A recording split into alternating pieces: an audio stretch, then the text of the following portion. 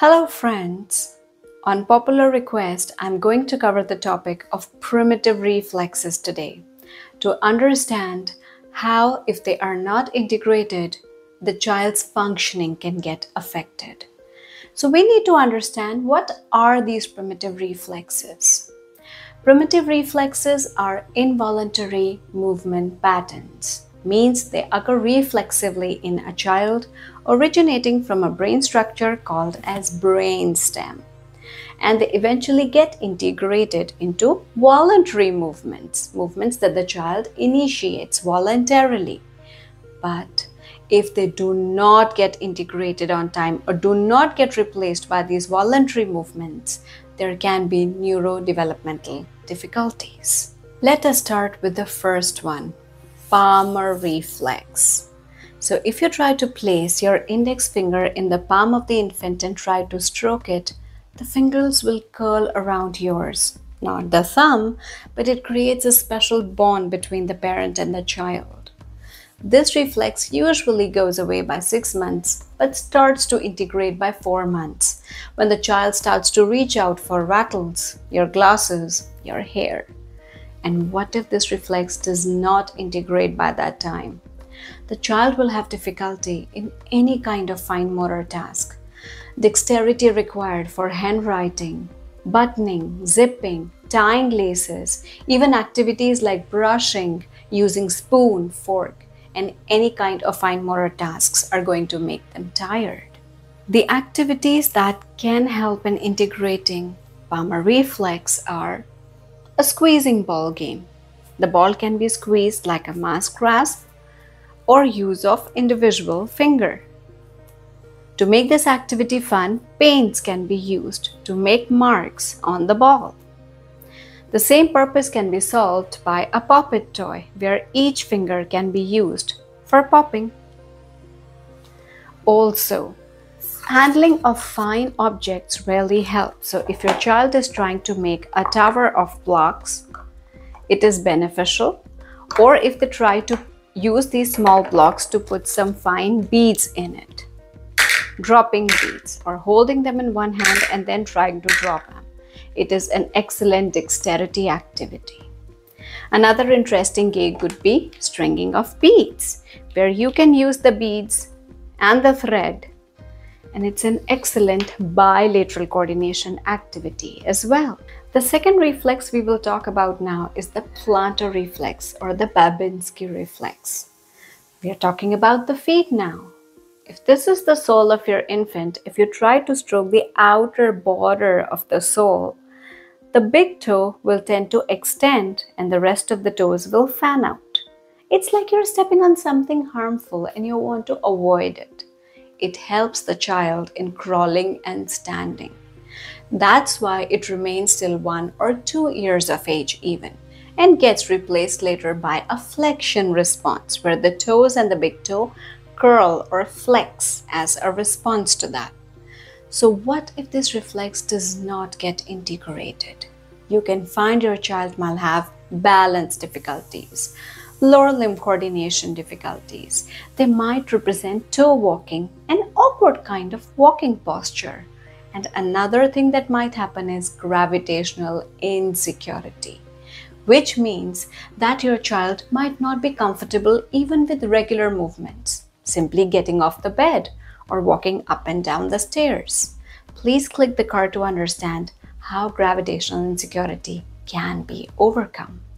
What to do to integrate the Babinski reflex? First, picking small objects with toes really helps because it introduces the flexion response. Secondly, practice coordination and balance activities with your child in the form of balance sports, or you can ask the child to first walk on a wide base and then slowly bring it down to a narrow support base. You will find out of this in the gravitational insecurity video as well.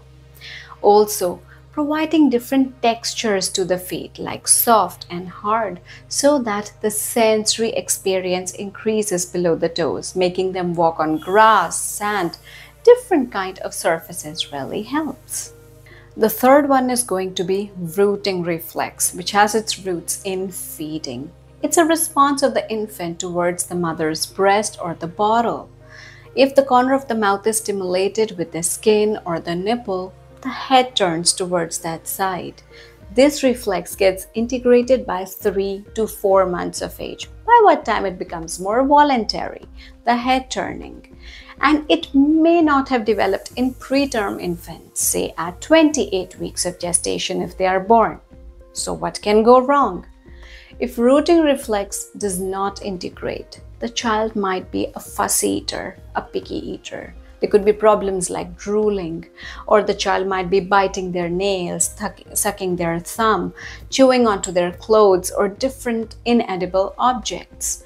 Also, there could be a hypersensitivity around the mouth, a tendency for tongue thrust. As your child can develop swallowing related or speech or articulation related difficulties later, you can work on the integration of the rooting reflex by practicing with teethers because they help in reducing their sensitivity, tolerance of textures, and also facilitate biting and chewing.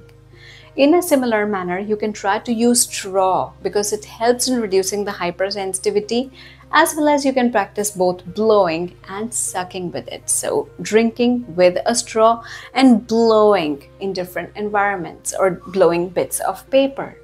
In a similar manner, blowing bubbles can be practiced. You can click the card for checking different oral motor sensory games that can help in the integration of this reflex.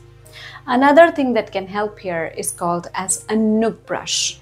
NUK brush is helps to reduce the hypersensitivity around the mouth. So you can start with the ear and move towards the angles of the mouth on each side. And the fourth reflex for the day is Moro's reflex or startle reflex. As the name suggests, you startle if there is a loud noise, a feeling that you're about to fall down, or there is a sudden movement the child will cry, so extend or stretch themselves and then curl up. This stimulates the sympathetic nervous system to activate the fight and flight response later. This gets integrated by two to four months, but what if it does not? All these stimulations can lead to hypersensitivity in a child. They, will, they might be impulsive in their actions and they will have social emotional immaturity sensory overload leading to meltdowns will become very common. And the child might have problems like motion sickness, gravitational insecurity, sensitivity to sounds. In order to integrate the Moro's reflex, it will be important if you try to give your child tummy time starting as early as two months of age, which helps in development of head and neck control, propping up on the forearms. It really benefits. Don't be scared to place your infant so young.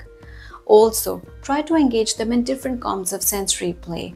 For example, light based, sound based in the form of toys, touch, pressure, movement, textures, and tastes and smells. Try to involve all the senses for the child so that the sensory deprivation does not happen.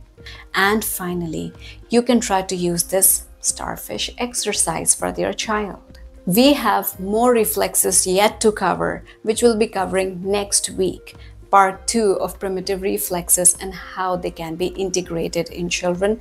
Please tune in to watch that video next week and like the video if you found it informative.